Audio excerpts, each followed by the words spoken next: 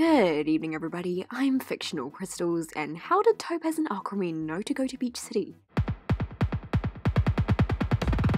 Topaz and Aquamarine were sent to Earth to collect specific humans. They were looking for people called Lars, Sadie, Connie, my dad, the mailman, and Onion, I think. The reason they were going for these humans was because of the list Steven gave Peridot all the way back in Marble Madness.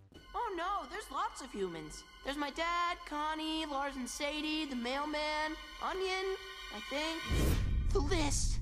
Peridot reported what Steven said word for word. What he said was a bit unclear to her. He listed off six people's names, so she thought there were six varieties of humans and, of course, Stevens. Topaz and Aquamarine were trying to find Uh, my dad, a Connie, a Lars, a Sadie, a mailman, and an onion, I think.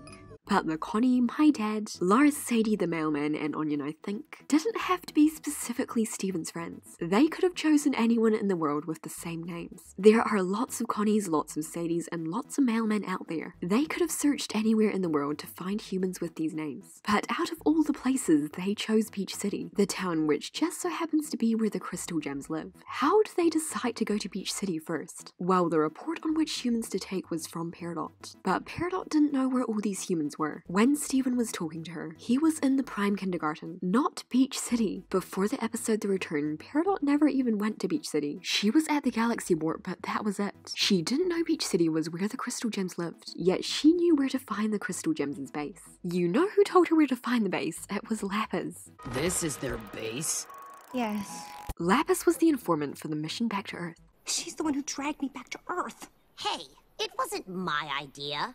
I was headed to Earth and I needed an informant. She had to tell Homeworld Gems what she knew and what happened. Lapis knew the Crystal Gems' base was in Beach City. She also knew of a Steven, and had briefly encountered several humans, including Lars, Sadie, Connie, and Steven's dad. All humans who were on the list. Lapis reported the location of Beach City back to Homeworld. She also reported that there were humans in Beach City. Homeworld doesn't know if there are a lot of humans in other parts of the world. The red eye they had that was scanning the Earth got destroyed. Blue Diamond met with like one human in Korea, but that was it. And the Ruby Squad thought they met humans, but they didn't. The closest they got to meeting with humans was with Steven. Lapis was the only gem before Aquamarine and Topaz who actually had a recent experience with humans on Earth and told her findings back to Homeworld without lots of complications. She knew there were humans in Beach City. She may not have remembered their names, but she did see enough of them there. At least she knew there were more than two. That's more humans than Blue Diamond and the Ruby Squad have seen on Earth in the present day. Thanks to Lapis, they know where Beach City is. They knew that going there was their safest bet to collect more humans. So that's where they went. It's because of what Lapis and Peridot told Homeworld that Aquamarine and Topaz took Steven's friends from Beach City specifically. Those two should be feeling pretty responsible for the trouble right about now. Hopefully they'll make it up to Steven in the future. But anyway, thanks for watching and keep Beach City weird.